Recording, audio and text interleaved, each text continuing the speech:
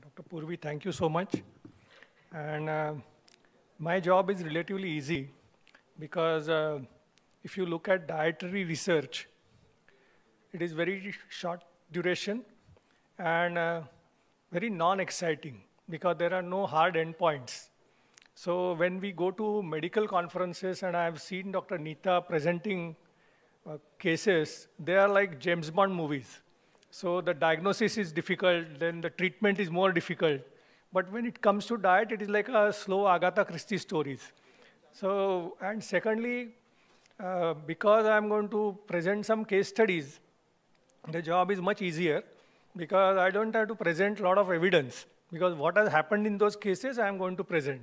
And luckily, uh, the topic given to me is how to personalize the therapy.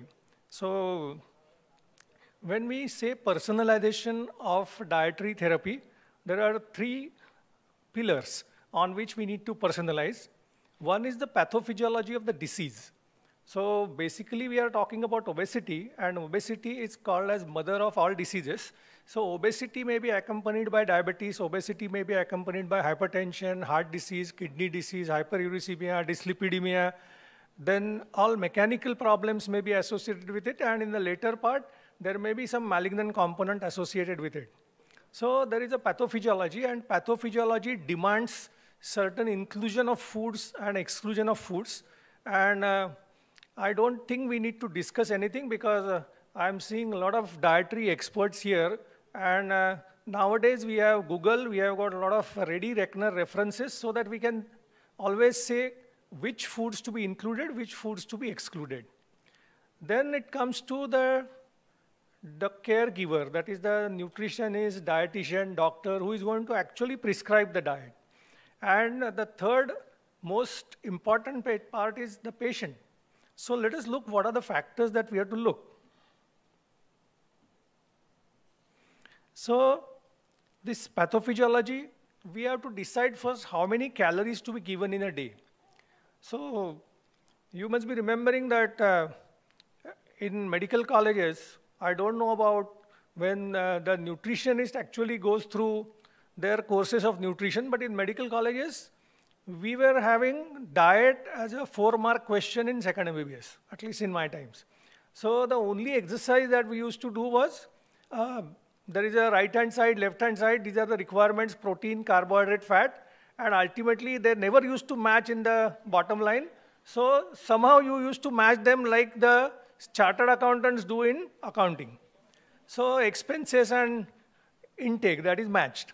But nowadays we say that the present calorie intake, and that is the most difficult thing to calculate. They talk about the diet recalls, the seven days diet recall, whatever all those gadgets which maintain, nowadays even we have got photographs and which will tell you the calories and ultimately they say you have to have some 300 calories minus present diet or 500 calories minus present diet. But I don't know how actually this is done. Because uh, if you calculate the diet recall, the dietary calories consumed by any patient is around 800 calories. And uh, the most common answer given to diet recall is I don't eat anything. That is the common answer. So how to reduce 500 calories from I don't eat anything? Secondly, they say that you have to give a low carbohydrate diet, low calorie diet in terms of 600 calories or 1200 calories. So personalization, it is basically a interaction or a karate match between a dietitian and a patient to decide how many calories to be taken in a day. Then frequency of feeds is a, like a hydrogen bomb. Some people are, they say only two meals a day. Some people will say every two hours you have to eat. And then everybody has got a lot of scientific evidence stating that how insulin works, how glucagon works, how anti-insulin hormones work. And so the match ultimately ends in a tie, and nobody knows exactly what is the frequency of the diet. But uh, when you see the research, American Heart Association has studied all these forms of diet. And uh, they were looking at what is the new onset of diabetes, new onset of hypertension, and they found out that three meals a day is the best pattern, the breakfast, lunch, dinner. And even if you go at two or one meal a day or starting from four meals a day, the chances of risk or hazard ratios are a little higher to develop these new onset of diseases. But they, not, they don't talk about what are the previously if the patient is diabetic, what will happen. So the frequency of meal again is a decided between patient and a dietitian. Then include exclude list is a fixed thing. And how frequently you need to change a diet. That is again a million dollar question, whether patient gets tired of the diet, whether the dietitian gets tired of the diet, whether the dietitian wants a new visit from the patient so that she can change the diet. So there are so many factors involved. Then the patient factors. Patient factors are very important because uh, patient's environment is the biggest cause of concern. Person who is like in Mumbai, they, somebody is staying in Badlapur and goes to VT, that's a two hour commute on one side. And then 10 hours work and commuting back. And uh, then he will say that I have got a family of five or six members, and uh, if you tell me to eat every two hours, uh, it is not possible. Or if you tell me to eat uh, only twice a day, so there are some concerns about that. So environment is most important. Then mindset of the patient. There are some patients, and uh, the last thing is like his knowledge bank from his friends, colleagues, WhatsApp, Google, Instagram, influencers, all those people decide how the person should be planning a diet, what things should be included. And uh, there are so many things which are included. If you know paneer phal, shahalgam, all those, so many weird things are included in diet, and many times the dietitians don't know what these things mean. So we have to take that into account, what is the mindset of that patient. Then patient has got strong belief systems. There are people who say that like, my, how much my grandmother used to eat, I want to eat like that. Somebody says how Tom Cruise eats, I want to eat like that. So there are so many mindsets which are created. Then there are prejudices because some persons are prejudiced for a certain kind of a diet. So that has to be taken into account. And I label something as the health quotient of that patient. Because uh, there are some people who are re really, they are unable to understand what is the importance of diet in their health. What is the importance of medicine? What is the importance of lifestyle? So you have to go down to that level and explain to them. It is like a, a student or a child in a fourth grade and if you want to explain them vitamins, minerals, everything, it is not possible. So health quotient of the patient has to be taken into account.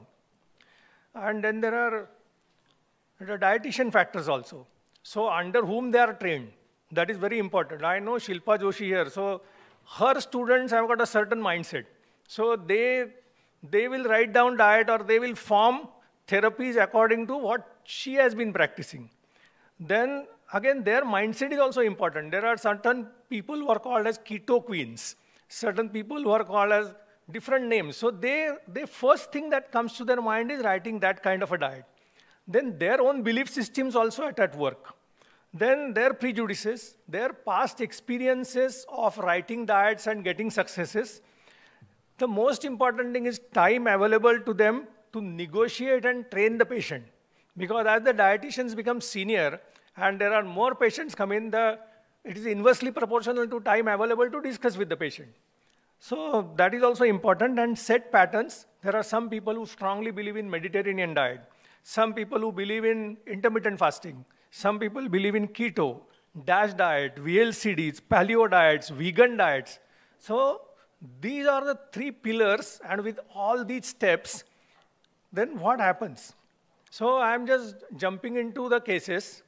This is a case, Anita, on day one. This is her parameters. She was 40 years of age, height 5'5", that is 1.65 meters.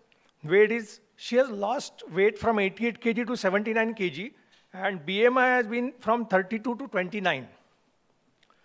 Now, what are the pathophysiological factors? She has got family history of high blood pressure and breast cancer in mother, then her mousy, and very strong family history of breast cancer no prediabetes, no prehypertension, other biochemical parameters are normal. Patient factors have lost 9 kg with Dixit diet during work from home days. And now daily 2 hour of commute and 8 to 10 hours of official work, she continues with the same diet with still reduction of portion sizes. And for last six months, she has not lost weight. So we have to go into negotiation because the whole point in personalizing diet is negotiation between these three factors, pathophysiology, the patient, and the dietitian. So this is like suggestions and replies. So the dietitian takes the shortest route. She says that already you have lost 10% weight. 10% weight loss can give you 86% of health benefits. So you maintain that weight. Don't no need to lose weight. The patient is Google scholar. So she says, but mother has breast cancer and I have to come down below obesity zone or overweight zone so that I can prevent my chances of developing breast cancer. So I have to lose weight now. So the second suggestion comes that then we will change the meal frequency. You are eating only two meals a day, that 55 minutes pattern. And try multiple small meals because it's the opposite end. The patient says, I am very happy with the two meals a day and has given me good results, so why I should change? Then the dietitian suggests that we have to include higher protein and exercises so that we'll increase your metabolic rate. This is again a very like cloudy concept of metabolic rate. Every patient believes that his or her metabolic rate is low, while the science says when you have got higher weight, your metabolic rate is higher. So, and there are no drugs or no diets which can really increase your metabolic rate. But I have seen people prescribing black coffee with some butter and calling it a bullet coffee and which will increase your metabolic rate. So there are a lot of magic things are available. But this dietitian being a very what you can say, a conscientious dietitian, she doesn't want to say that. She says, I will increase your protein intake and exercise. The patient's response is, their working schedules are so tight, I don't have time to exercise.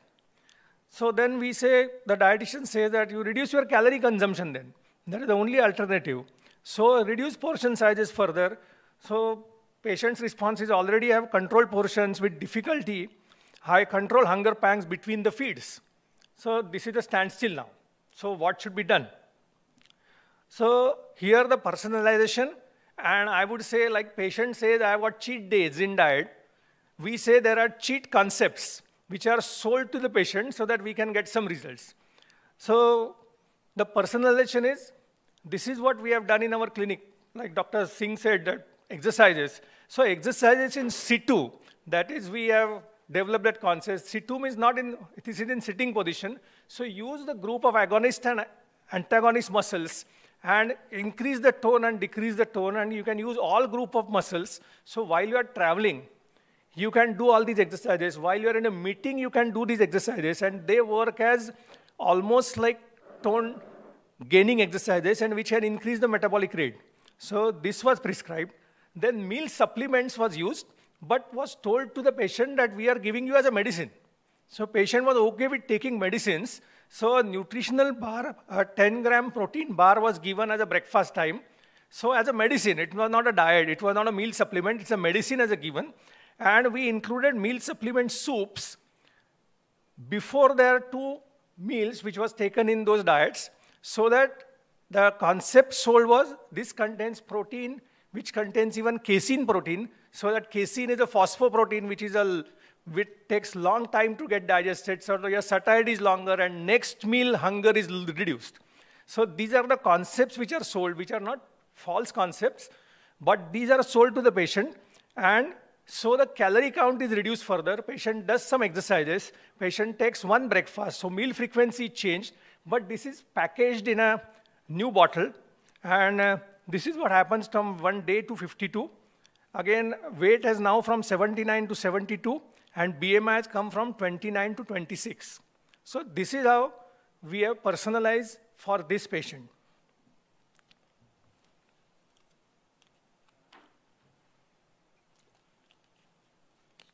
Now this is the second patient. Again, day one, age is 48. Height, we have taken same 165 centimeters. Weight is 88 and BMI is 32. Now this person has got a family history of ischemic heart disease. The father died recently of a ischemic heart disease. He has got fatty liver grade 2, HbA1c 6.4, triglyceride 221, cholesterol 201, HDL low 29, SGOT 66, SGPT 62, and GGT of 90. Now, patient factors are he's a frequent traveler and those high profile IT clients, which many times we see, then during when we talked about alcohol, he said it is need my profession. I am a marketing guy in IT and I have to take alcohol with my clients. If I refuse, I may lose my business.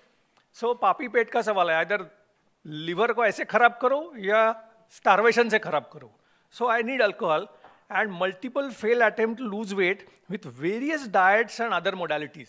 So he has joined gym, he has joined some those nerve conduction or nerve stimulation exercises, high intensity training, and but never stuck to something. So negotiation was planned for a Mediterranean diet because he's got history of heart disease. Then he says that this is possible when I'm at home. But when I travel, I don't have any control on my diet. So I want a different diet for traveling time and different diet when I'm at home. So I'm ready for a Mediterranean diet at home. And fatty liver needs alcoholization. Patient says flatly no. It's professional need. So I will change from whiskey to beer. Now he asked, okay, and this is a common notion that beer is very mild and beer may not cause so much harm as whiskey, rum, or all those stronger alcohols can cause. So personalization, one session was devoted to just explain the role of carbohydrate intake in relation to fatty liver. So his notion was fats can cause fatty liver, but we were like, could devote that time and he understood the role of carbohydrates in developing fatty liver. Then he was given Mediterranean diet at home and low or no carbohydrate diet for travel because uh, luckily he was a non-vegetarian, so he could eat meat and salads when he was on travel, and that is really available everywhere. Salads only with alcohol. That was a compromise that was reached. And we told him that you can have any kind of a salad with mayo or with some other dressings, but you have to feel full. Your stomach should be full. Two bowls of salads, and then take, instead of taking beer, you have on the rocks neat single malt whiskey. So that is a cost involved, plus there is a quantity also involved, and we taught him literally how to, how great people drink whiskey. So then he was charged up, okay, then I will have sip by sip, I will restrict to one peg a day, and two bowls of, two bowls of salads, and cetilistat and glutathione was included because of his GGT problems, and in three months, he came down from 88 to 75, and BMI has come to 27.5. So his personalization was a little different. Maybe you can tell me when to stop, because there are different cases. Yeah. yeah. So third case is this Ayesha. Day one, age is 58, height is 1.6, weight is 85, BMI is 33. Now, pathophysiological factors. She is non-diabetic, non-hypertensive, normal lipid profile, but she has got mechanical problems, back and knee pain, and she has advised bilateral TKR. And mother has got early Alzheimer's disease and has started forgetting things and has got a lot of gloomy feelings. So she, is, she went to psychiatrist, run some tests, but then they said there is no clinical depression. So patient is highly educated. She was saying that is it subclinical depression? What I can do, and I want to lose weight early because my movements are restricted, and this is going to cause me a lot of problems, and I want to get TKR done as early as possible. So wants quick weight loss so she can fit, become fit for TKR. So there was no need of any negotiations. She was ready to do whatever. And our dietitian chose keto diet. Now keto diet was chosen. The reason was the history of Alzheimer's disease in mother and keto diets, when planned properly, are known to give rise to mood elevation and can prevent cognitive decline. So this diet was chosen. This can give little quicker weight loss. Mood changes and cognitive improvement can occur. The only thing that we do was, there is now ketometers are available, keto strips and ketometers. So we wanted to really see whether our patient is in nutritional ketosis. So the ketone levels, BHB levels were maintained around 2.5 to 3, so that patient won't go into ketoacidosis or patient won't be just like a placebo keto diet. So this was maintained and from 45 days, she came down from 85 to 77 kg and BMI from 33 to 30. The fourth case is again 50 years old, again 1.65 height, 74 kg weight, and BMI just 27. Now, the reason for her weight loss was she has got fatty liver. And we calculate in our hospital, we work in liver transplant unit. So we have got a lot of cases where the patient recipient is sick. He wants liver donation as early as possible. And a lot of time is wasted in finding out a live donor. And when the live donor, who is a family member, usually has got strong fatty liver. So the simplest measurement on CT is something called the liver attenuation index, and that has to be plus five or more so that the patient can donate liver safely. So this patient's LAI was minus four and was prospective liver donor. Her husband needs a liver ASAP. Patient was in hospitalized so, and decompensated liver.